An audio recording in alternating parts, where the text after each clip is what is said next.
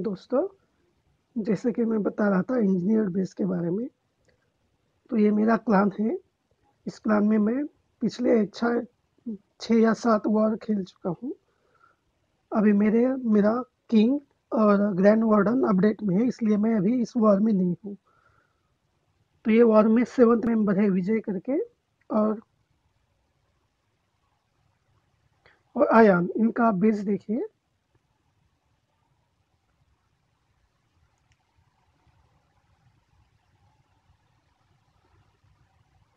आयाम के बेस में एक भी आर्चर टावर नहीं है और एक सिर्फ़ एक कैनन है, वो भी बहुत लो लेवल की है। तो इसका defence town hall four five के ही बराबर रहेगा।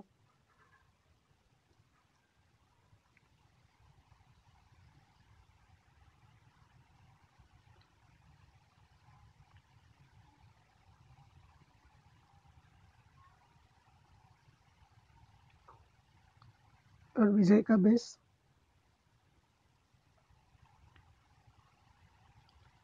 इसमें भी बहुत से आर्चर मिसिंग है कैनन भी मिसिंग है।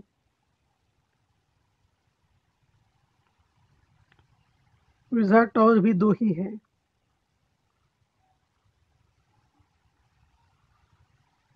और वो भी बहुत लो लेवल के हैं। तो अब उनके मिरर पे कौन है देखेंगे अभी?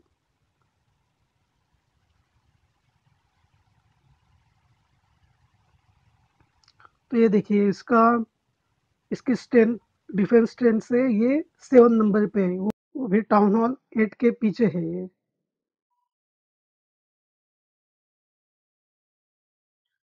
और आयाम तो बहुत ही नीचे है। तो देखते हैं उसके मिरर में एग्जैक्ट कौन है।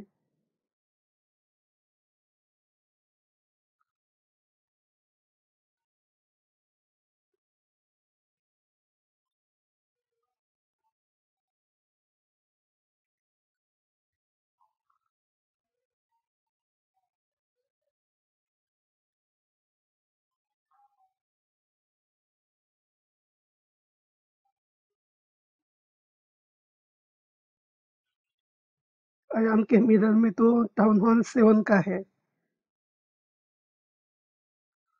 तो अयान तो तीन हीरो के साथ और टाउन हॉल टेन की ट्रूप के साथ इस पे तो टेन स्टार इजीली निकल सकता है। वैसे तो अयान एक पे भी अटैक करके उस पे भी तीन स्टार निकल सकता है।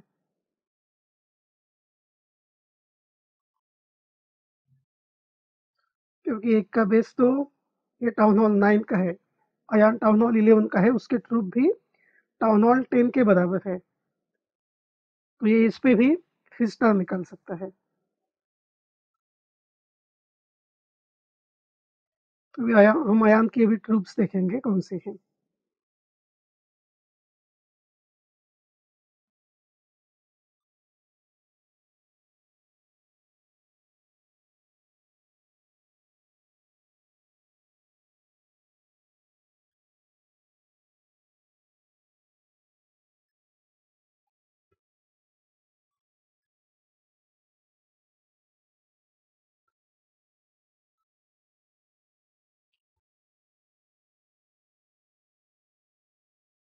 इसके पास तीनों हीरो है।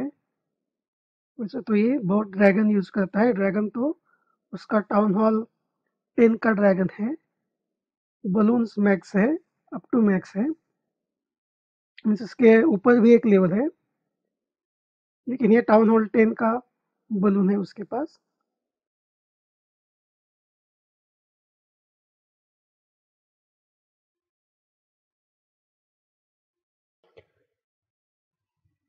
हम पिछले सभी वॉर के डिटेल्स देखेंगे तो आपको डिटेल में पता चलेगा। देखिए, ये सभी लास्ट ये लास्ट सात वॉर है। सात वॉर में से छह वॉर इस क्लान ने जीत लिए हैं।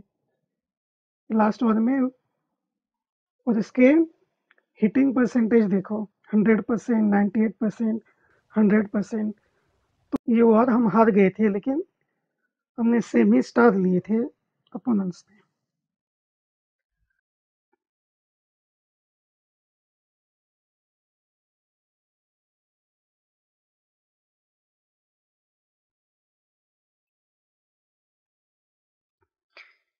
विजय का भी इंजीनियर बेस है। उसने पाँच नंबर पे सभी स्टार लिए हैं, दो नंबर पे सिक्सटी टू स्टार लिए हैं। और अयान ने तीन नंबर पे सिक्सटी सेवन और चार नंबर पे हंड्रेड स्टार लिए ये सेकंड वॉर में विजय ने पाँच नंबर पे तीन स्टार लिए हैं, दो नंबर पे दो स्टार लिए हैं। तो उसका नौ नंबर का मेरे क्लान में नौ नंबर पे था और उसने दो और पाँच नंबर पे अटैक किया। और अयान ने तीन नंबर पे, उसने दो स्टार और चार नंबर पे तीन स्टार लिए हैं।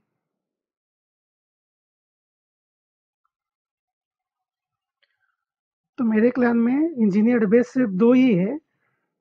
क्लान में अगर इंजीनियर बेस सात आठ होते तो ऑलमोस्ट हम ये वॉर जीत जाते, ऑलमोस्ट सभी वॉर हम जीत जाते।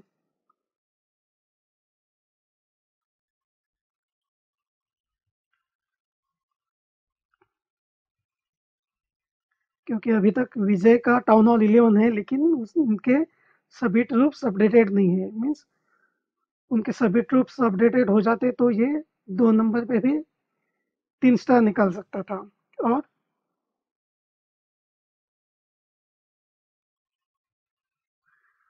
और अयान भी तीन नंबर पे तीन स्टार निकाल सकता था।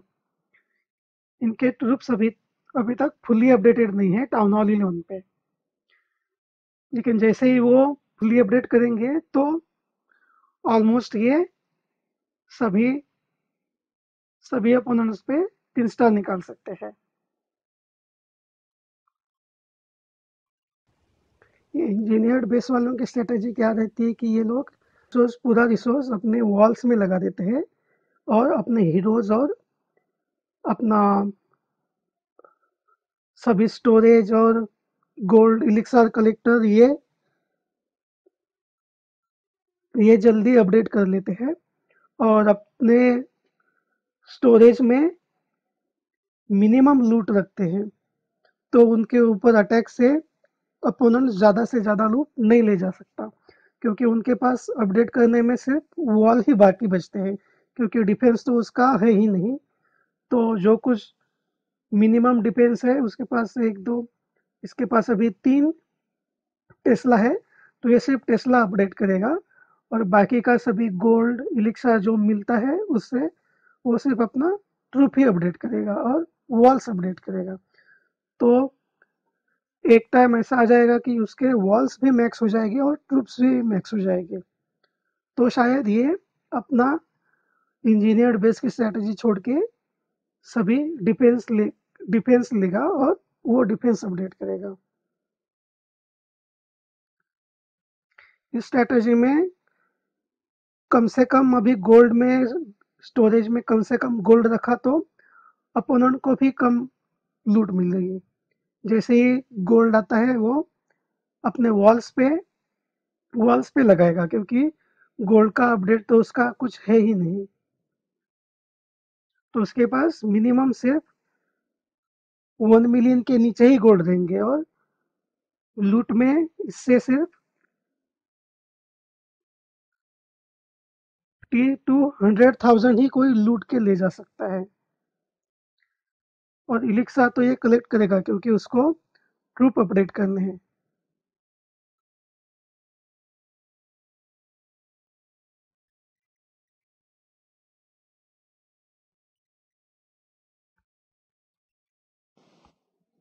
अयान एक सीरियस वॉर प्लेयर है जो वो हर एक वॉर में आउट ऑफ़ आउट स्टार भी निकाल सकता है। तो उसके हिसाब से ही उसने अपनी स्ट्रेटेजी कर ली है। ये आपके ऊपर डिपेंड है कि आप कौन सी स्ट्रेटेजी फॉलो करते हैं। आइधर आप रस्ट बेस हो गए या इंजीनियर बेस हो गए या आप डिफेंस के साथ अटैक भी अपडेट कर रहे अपडेट करते होंगे। मैं तो अटैक और डिफेंस एक ही साथ अपडेट करता हूँ और पूरा मैक्स हो जाने के बाद ही मैं अगला टाउन हॉल लेता हूँ।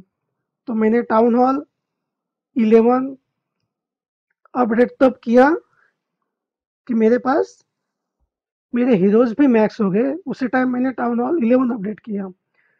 मैंने टाउन हॉल टेन मैक्स हो जाने के बाद मेरे हीरो सिर्फ़ ट्वेंटी के लेवल पे थे। तो मैंने ट्वेंटी से लेके फोर्टी लेवल तक करने में मैंने छः मंथ गुजारे तो उसके बाद ही मैंने मेरा टाउन हॉल अपडेट किया। टाउन हॉल के स्ट्रेटजी के फ़ायदे भी बहुत है। सबसे बड़ा फ़ायदा होता है प्लान वॉर्स में। और अटैक में ज़्यादा नुकसान भी नहीं होता, क्योंकि इसी लेवल के उसके पास ट्रूप रहते हैं। और डिफेंस में ये फ़ायदा रहता है कि ये अपने स्टोरेज में कम से कम लूट रख सकता है। क्योंकि उसका डिफेंस तो वीक है ही, कोई भी आके उसके ऊपर तीन स्टार निकाल सकता है, सभी लूट लेके जा सकता है। तो ये क्या करता है कि अपने डिफेंस में, अपने गोल्ड स्टोरेज में कम से कम लूट रख सकता है ये। क्योंकि जब भी वन मिलियन के ऊपर लूट हो जाएगा तो वो सभी लूट अपना वॉल्स पे लगा देगा और कम से कम लूट अपने स्टोरेज में रखेगा। और इलिक्सार में इसको मिनिमम पाँच मिलियन लगेगा अपना किसी भी ट्रूप अपडेट करने में। तो वो अपडेट करके फिर से वो वापस ज़ीरो इलिक्सार पे आ जाएगा। और कुछ लोग तो दिन में सिर्फ़ दो बार ही, उनका सिर्फ़ दो बार ही डिफेंस रहता है और दिन में वो लोग दस पंद्रह, बीस बार अटैक करते हैं। ये लोगों के लिए ये स्ट्रैटेजी अच्छी है क्योंकि दो बार ही डिफेंस करना पड़ता है। पूरा हंड्रेड परसेंट भी डिस्ट्रक्शन हो गया तो भी इनको ज़्यादा फ़र्क नहीं पड़ेगा, क्योंकि दो, नेक्स्ट दो अटैक में वो सभी कवर कर लेते हैं। बाकी के तेरह चौदह अटैक, उसका लूट पे भी फोकस रहता है। वो बहुत ज़्यादा लूट कलेक्ट करते हैं। दोस्तों कमेंट में लिख दीजिए कि आपको ये स्ट्रेटेजी अच्छी लगी या बुरी लगी। आप कौन सी स्ट्रेटेजी फॉलो करते हैं? और और एक अपडेट है कि अभी क्लैश ऑफ़ क्लैंस इन बेस पे बहुत नज़र रख रहा है, क्योंकि इनकी वजह से बहुत से क्लैन वॉर्स एक तरफा हो जा, हो रहे हैं। इंजीनियर बेस वाले ही जीतते हैं। तो प्रॉपर वॉर खेलने वाले लोग जो अपडेट और डिफेंस एक साथ अपडेट करते हैं और मैक्स डिफेंस और मैक्स ट्रूप पे रहते हैं, वो लोगों को बहुत नुकसान हो जाता है। तो अभी क्लैश ऑफ़ क्लैंस ये सोच रहा है कि वॉर में अपोनेंट्स का स्टेटस ऐसे देखे कि अपना डिफेंस के साथ अटैक भी मैच करके उस तरह से आपको ओपोनेंट्स दे दे। तो इन इस केस में आपको इंजीनियर बेस का ज़्यादा फ़ायदा नहीं होगा। और ऐसा अपडेट क्लैश ऑफ़ क्लैंस ने लिया तो बहुत से इंजीनियर बेस के यूज़र्स अपना बेस चेंज करके डिफेंस भी ले सकते हैं। दोस्तों, आज के वीडियो में बस इतना ही। नेक्स्ट वीडियो में मैं आपको और स्ट्रेटेजीज बताऊँगा। एक तो फ़ार्मिंग होती है और एक रस्ट बेस होते हैं। दोनों के भी अलग अलग फ़ायदे हैं अलग अलग नुकसान हैं। दोस्तों, आप देखते रहिए मेरा नेक्स्ट वीडियो प्लीज़ इस वीडियो को लाइक शेयर और सब्सक्राइब कीजिए। मिलते हैं नेक्स्ट एपिसोड में।